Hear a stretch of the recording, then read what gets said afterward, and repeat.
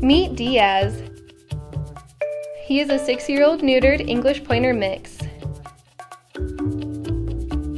Diaz was transferred to the Humane Society from another shelter, and he is on the hunt for his forever home.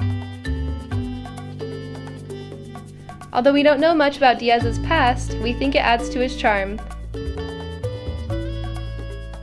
Both athletic and affectionate, Diaz is an all around wonderful dog. Can't wait to know more? Come visit Diaz today at the Humane Society of Utah.